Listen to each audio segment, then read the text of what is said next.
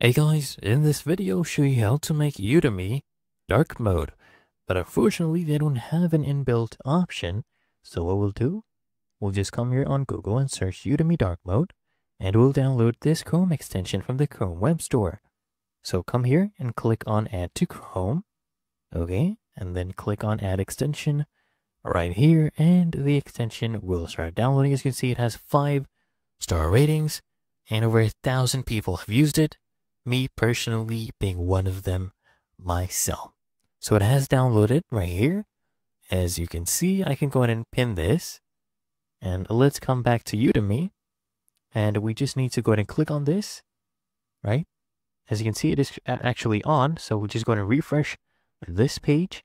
And our Udemy will be in a dark mode. And if you ever want to switch back to the normal version, you just need to go ahead and click on your extension and turn it off. Okay? And it's really that easy and simple.